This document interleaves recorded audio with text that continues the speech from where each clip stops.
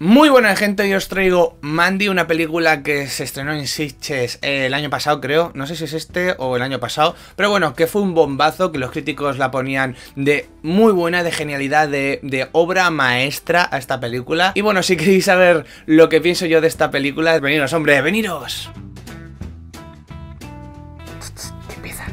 Esta crítica no va a tener spoiler porque creo que no lo necesita. Y bueno, esta película nos cuenta la historia en 1983, más o menos, donde vemos a Red Miller y a Mandy viviendo en la montaña, que estos son los protagonistas de la película, viviendo en la montaña tranquilamente, sin molestar a nadie, y de repente aparece una secta religiosa que secuestra a Mandy, y aquí ya vemos a Red Miller, que es Nicolas Cage, pues tomando su venganza, ¿vale? Después de esta pequeña sinopsis, quiero que eh, veáis lo que he sentido yo hacia esta película, ¿vale? Esta película es lenta, ¿vale? Pero hay películas lentas que te cuentan una historia y te gustan. Por ejemplo, Wind River, que me gustó, es lenta, pero te cuenta una historia poco a poco que te va gustando y te va convenciendo. También tenemos Blue Rain, que también es una historia lenta, con conversaciones lentas, pero es una historia que te atrapa y poco a poco te va convenciendo de que estás viendo una buena película.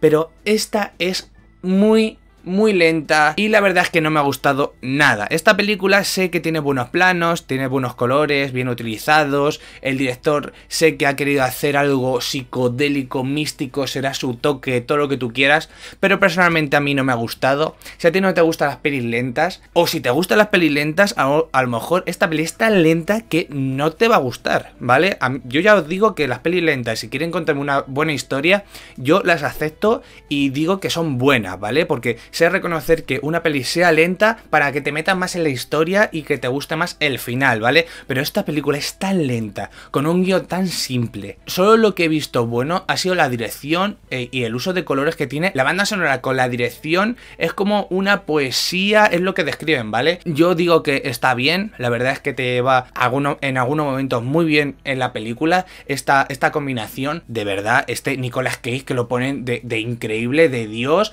y digo yo, pero si es el típico Nicolas Cage. Si tiene una escena donde empieza a reírse en el baño, un baño eh, de un color así de girasol, en canzoncillos, y digo, ¿pero qué, qué, es esta escena? ¿Por qué? ¿Por qué, tenemos que ver esta escena exagerada? Porque se nota que, se ríe exageradamente e intenta con esa escena ser un gran actor. Y la verdad es que te da un poco de cringe eh, ver esa escena. Quien no sepa eh, qué es cringe es que te da vergüenza ajena o que te da vergüenza ver esa escena. O que es una escena muy rara para, para, para esta película. A ver, esta película está llena de escenas raras. Tenemos a unos jinetes de apocalipsis, así por así decirlos, vestidos muy raros como si fueran monstruos. Y os digo que el guion es lo más simple del mundo. Unos religiosos que secuestran a una mujer y el marido quiere venganza. Tiene mucho estilo a, los, a las películas de los años años 80 sin ningún tipo de humor, que a mí me da igual que la película tenga humor o no, pero por lo menos cuéntame una historia que me entretenga. Y esta película tiene tantas escenas lentas que se pueden contar en menos minutos que me estaba desesperando. Ese principio que yo digo, vale, 15 minutos, media hora, preséntame los personajes, perfecto, pero son escenas tan lentas que esa media hora se extiende a una hora. Y hasta la mitad de la película no empieza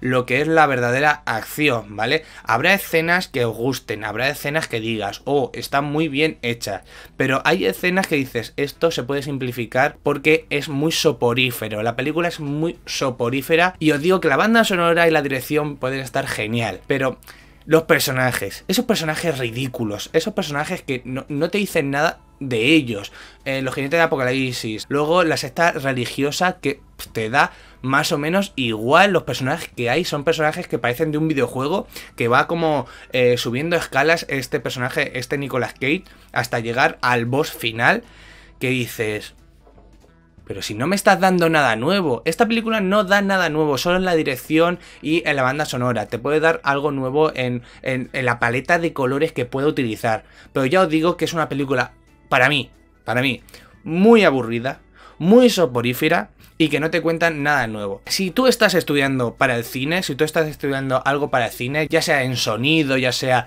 en la dirección, ya sea en la fotografía, míratela porque esta película es para estudiar. Esta película es para estudiar esas escenas con esos colores, con esa interpretación de los colores que quiera dar el director. También la banda sonora, cómo fluye en las escenas. Seguramente esta película sea para estudiarla en las escuelas de cine. Pero esta película no te entretiene. No entretiene. ¿Vale? Te pueden detener algunas escenas de acción, algunas escenas de gore, algunas escenas que, que, de verdad sientas, como por ejemplo la escena a mitad de película donde vemos a Nicolas Cage sufrir de verdad, que la verdad es que esa sí te llega, pero el principio, que dura una hora, es muy soporífero, de verdad. Eh, me da igual los negativos que tenga porque yo quería mostrar lo que he sentido con esta película. Yo le voy a poner un 4 y yo creo que le estoy dando mucho, un 3,5, un 4. Muy soporífera, me da igual lo que me quiera contar con las escenas que, que, hay, que, que, duran 10 minutos más de lo que deben durar. No entretiene, porque no entretiene, es una película que tampoco te da algo fresco. Unos personajes muy malos, unos personajes que no que no trascienden en nada, que no te explican nada de ellos y que es eso, un videojuego que vas desde lo principiante hasta lo más difícil que es el boss final y es lo que Nicolas Cage hace en esta película. Y os digo que yo no la recomiendo, no la recomiendo para nada.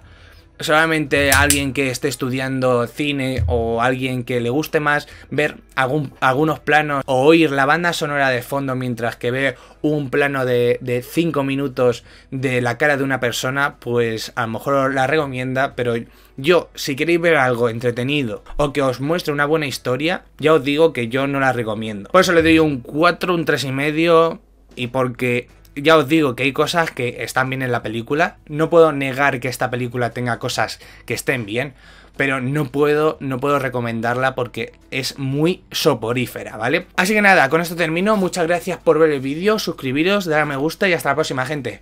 ¡Adiós!